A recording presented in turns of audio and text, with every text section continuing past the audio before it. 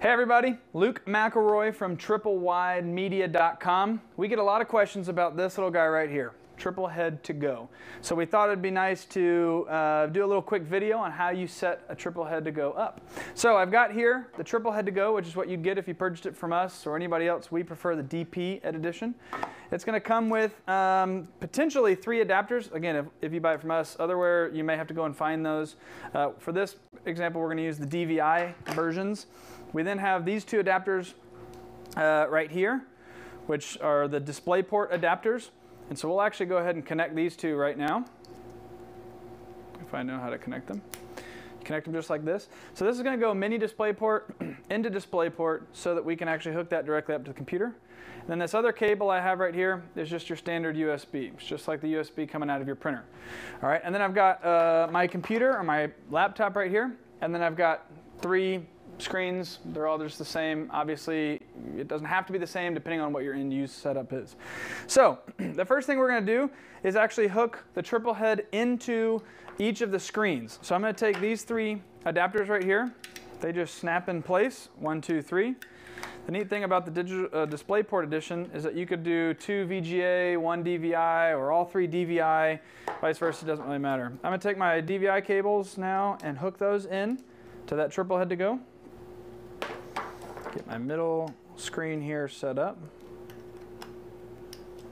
By the way, while we're waiting and talking about this, just so, so, you guys know, there is a difference between dual link and single link DVI, for those of you who are experts out there. Um, this, uh, for this example, we won't need dual link DVI, so you can get a single link DVI. Single link's a little bit cheaper. That's typically what they sell in you know, Best Buy or Radio Shack or anything like that. We're going to then set up our USB. So we just hook the USB into the USB port here on the front of the triple head. We'll go ahead and plug that into the computer.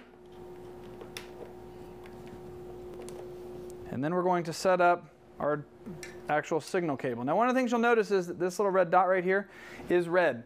That means that it is not getting any sort of signal that it likes. Okay, so I'm going to plug this guy in over here on this side of the computer.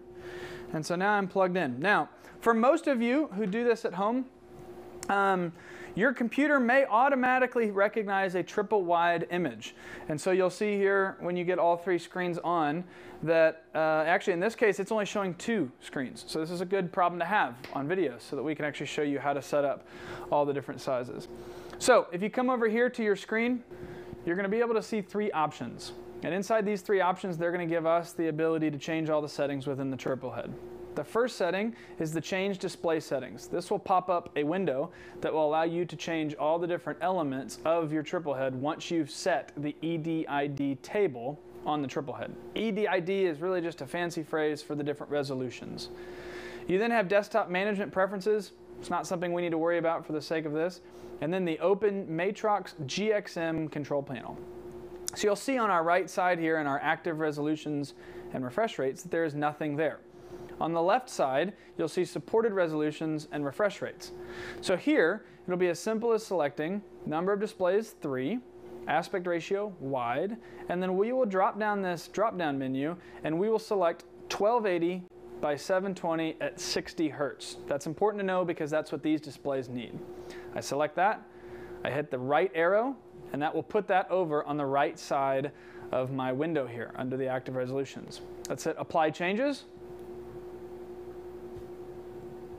Okay, and so now the triple wide actually should be showing across all three of your displays. And the reason of that being is that now that we've got the right active resolutions, we should be able to be sending a resolution that these TVs would like to see. So we'll close out of that, and of course you can change the active resolutions by going back into that Matrox change display settings, hitting your available settings, and changing your different displays. Something to note, you want to make sure that the resolutions that are coming out of the triple head to go are something that is compatible with the displays you're using. For example, these are 1920 by 1080 displays, but they'll also support a 1280 by 720 HD resolution. They will not support a 640 by 480, so we could not send it a lower resolution or it would have just shown up black on here. So sometimes when we have those issues, make sure that the display or the projector that you're using will support the resolution that the triple head is using. And that's it. That's how you set up a triple head to go in just a few short minutes.